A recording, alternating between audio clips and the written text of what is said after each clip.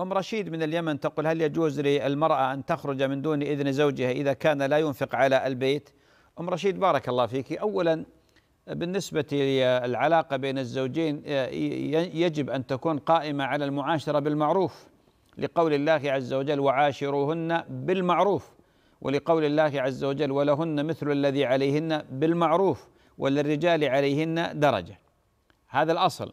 الأمر الثاني هناك حقوق واجبة للمرأة على زوجها. وهناك حقوق واجبة للزوج على زوجته.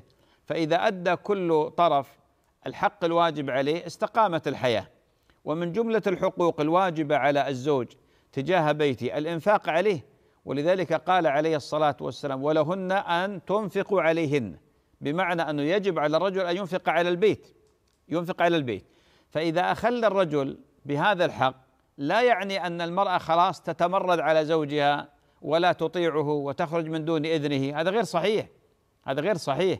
فذهاب بعض الحق لا يعني هدم الحقوق كلها.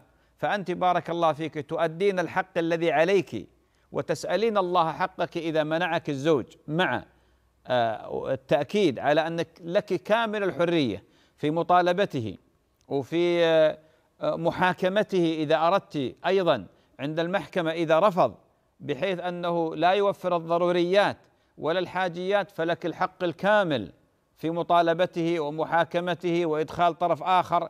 لكن ما يكون بمثل هذا ال ال ال إسقاط الحقوق والتمرد على الزوج والتمرد على البيت. لا يا أختي الفاضلة هذا كل شيء نضعه في نصابه.